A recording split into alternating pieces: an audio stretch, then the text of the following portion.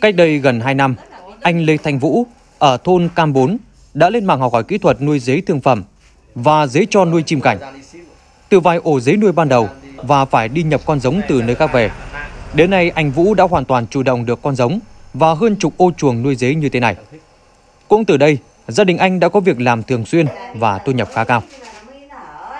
Đầu tiên mình chỉ nuôi một vài chuồng thôi, xong xong thấy ờ, bán ra cho thị trường thấy lợi nhuận cao, thế là mình mở rộng mô hình mình nuôi thêm ờ, năm bảy chuồng và chục chuồng, chuồng ờ, khoảng 2 mét vuông thì mình sẽ nuôi được khoảng 5 ổ trứng.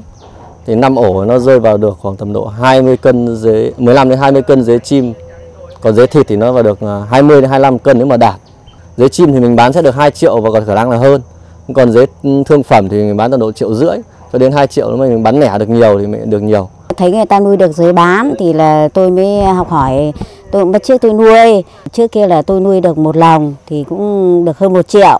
Thì tôi cũng chỉ có gọi là tranh thủ buổi sớm với buổi trưa thôi.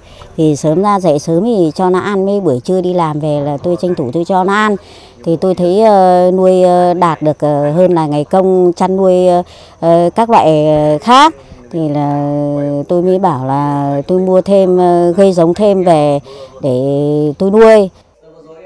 Từ hiệu quả của mô hình kinh tế mới mang lại cho gia đình anh Vũ, hiện nay nhiều hộ dân trong thôn đang học và làm theo với mong muốn nuôi dế sẽ thật sự trở thành một nghề mang lại thu nhập ổn định cho bà con trong thôn. Thôn cũng đã tuyên truyền cho bà con nhân dân để học hỏi các cái kinh nghiệm phát triển kinh tế thì một số hộ cũng đang bây giờ nó đang vào thời kỳ vụ đông thế cho nên là cái phát triển thì nó còn kém thì à, tới đây là người ta cũng à, sang à, đầu xuân thì một số hộ là cũng phấn đấu là cũng kết hợp nuôi cùng kết hợp với anh ấy để anh ấy hướng dẫn cho kỹ thuật nuôi.